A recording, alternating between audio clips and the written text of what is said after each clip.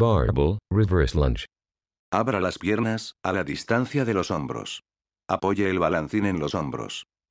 Mueva un pie hacia detrás, y apoye el peso del cuerpo sobre esta pierna, mientras baja hacia detrás.